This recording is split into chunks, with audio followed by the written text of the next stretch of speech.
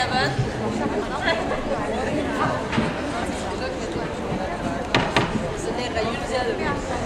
gaan we beginnen met nummer 34, Tum en Sportcentrum Hardenberg.